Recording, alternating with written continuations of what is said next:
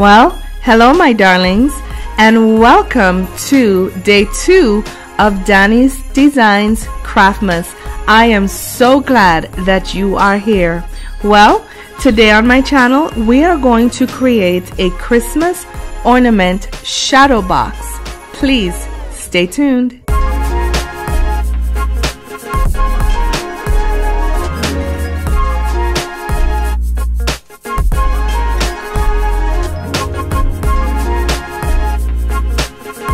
For this project, you will need two packs of these 12 pack ornaments, any embellishments of your choosing, and you will need four of these 8 by 10 picture frames. Of course, you'll need your handy dandy tools. Let's get crafting. So the first thing we are going to do for this project is we are going to prepare all of our frames in the same way. We're going to remove the backing, any paper that's in there. We're going to remove the three-dimensional frame part. We are going to take the glass out. Then we are going to use our wire cutters to remove all of the tabs that hold our glass and our backing together. Once we have done that, we are going to reserve only two of the glasses from the four of these frames. We're not going to need the other two. Now, once we have taken all of those clips out, we are going to, using our E6000 and hot glue, we are going to prepare two of those frames to hold two of those glasses that we withheld. And to do so, I'm simply going around the perimeter of my frame with some beads of E6000 glue. And then when I am finished, I am also going to go around that perimeter as well with some beads of hot glue to ensure that we can continue working with our right now adhesion from that hot glue while our E6000 cures over time. Now, once we have placed all of our hot glue where we need it to be, it is simply going to be a matter of placing that glass right back into that space, applying some pressure to ensure that all of that glue engages. And once we have done so, we are going to set it on a side to dry before we continue our process. So while we wait for our other two frames to dry with the glasses in them, we are going to prepare our second two frames. Now notice these ones will not have the glasses in them because these are going to be the middle of our shadow box. And to prepare these, what we're going to do is we are going to glue them together with our usual process of placing a foundation of E6000 glue and then on top of that E6000 we're going to place a foundation using our hot glue gun. Now I would like to caution you that when you're doing this not to use too much glue because yes even though you want to ensure that you are going to have a nice snug fit or seal, you do not want your glue to be too goopy or soupy and it's falling out and you are going to have too much cleanup. So if you're noticing, I am simply putting down beads of glue in an alternating fashion, not placing hot glue where there is already E6000 glue, but placing that hot glue in empty spaces. Once I have placed the hot glue where I need it to be, it is simply going to be a matter of placing my frame on top of the other frame, applying some pressure, and then setting it to dry for a few minutes. Now, If after you are sure that this has set and you would like to go look around and make sure that you can clean up any glue that spills over before it sets too hard, please take this time to do so quickly so that your cleanup will not be as involved as it would if you left that glue to dry all the way.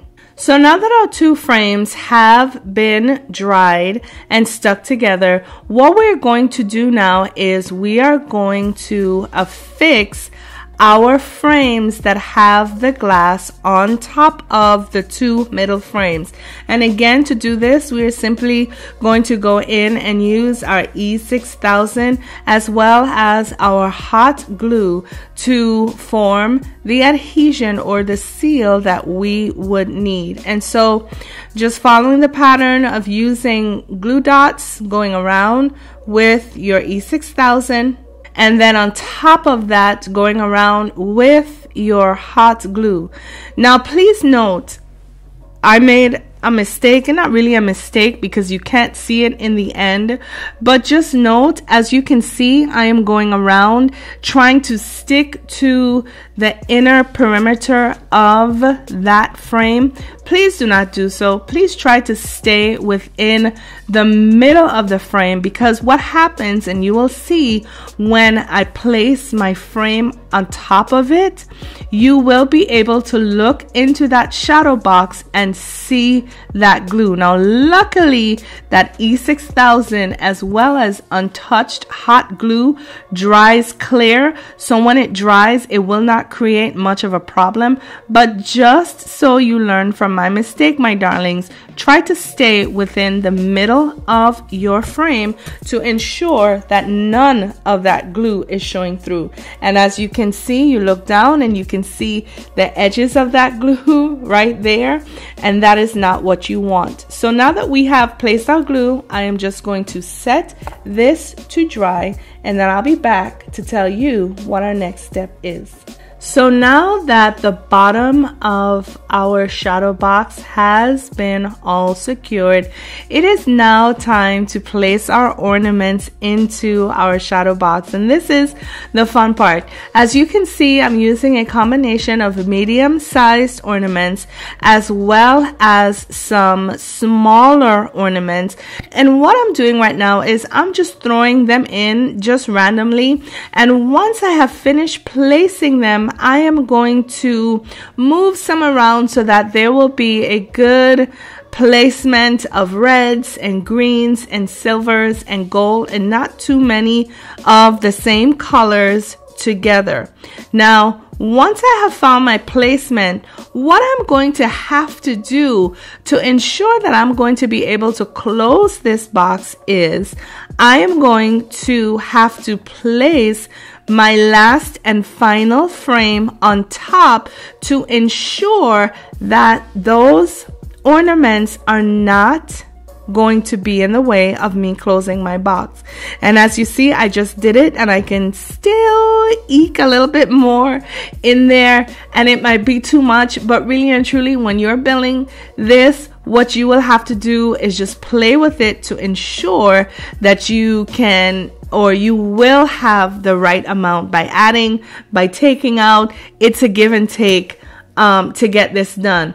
But once you have found how many of those ornaments you can comfortably fit into your shadow box, it is then going to be a matter of gluing your shadow box shut using our combination of E6000 glue and hot glue to ensure a nice and secure close.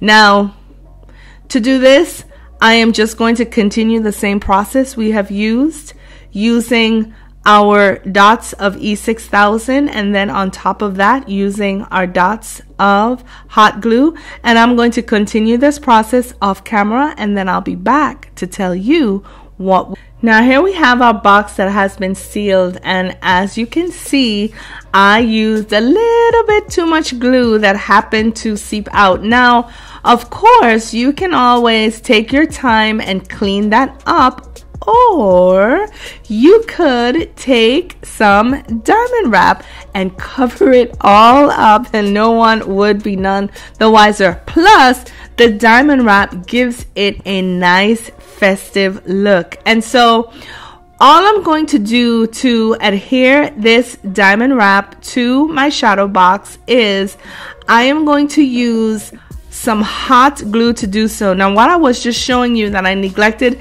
to mention is before you place your diamond wrap on the box, be sure which orientation you are going to have this shadow box sit. Now, are you going to have it sit horizontally or are you going to have it sit vertically? Now, once you have decided which orientation you are going to use, it is simply going to be a matter of placing your diamond wrap on all three sides except for the side it will be sitting on. And so to do this now, all we're going to do is use our hot glue to place our diamond wrap. And I'm going to start this process, of course, on camera, and then I'm going to finish it off camera. And then I'll be back to show you what our next step is. Now here we have our almost completed shadow box that we created using all of Dollar Tree products.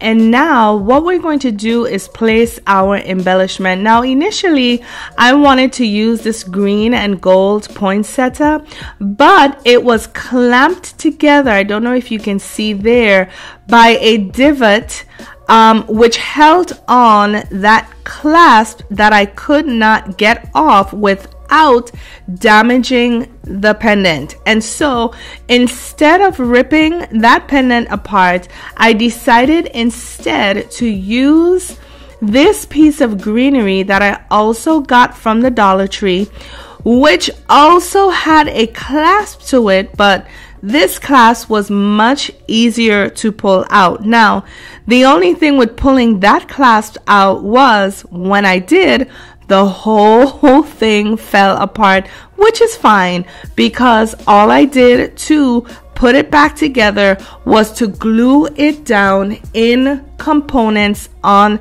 my shadow box, or rather, I should say, in layers. And so the first thing that went down were the holly leaves. And then once that sets, and it might take, it's going to take a while. It took a while because that picture frame, that part of the picture frame is actually metal. Metal conducts heat, so it's going to take a while to set.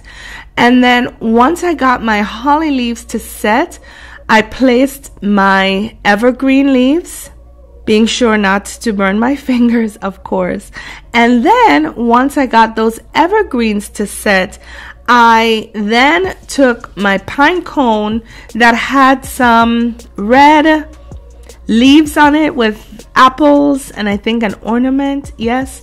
And then I added some more glue to the center of it and then I just placed that in there as well and left it to dry. So while I am leaving this to dry, I am going to clean up any glue fronts there are. I'm going to set the table and then I will be back to show you what our finished project looks like. And there you have it, my darlings. Craftmas Day 2, our Christmas ornament shadow box that we created using exclusively all Dollar Tree products. Isn't it beautiful? Now, I think my favorite part of this box is just the fact that it is see-through. And because it is see-through I just think that it is very playful it is very whimsical. And so your guests whenever they do come over and they're looking at your holiday decor I promise you this is going to be one of their favorites. Well my darlings I thank you for tuning in to day two of Danie's Designs Craftmas. And I look forward to seeing you tomorrow on day three. So until then, please Take care of yourselves for me. Know that I love you all. Bye now.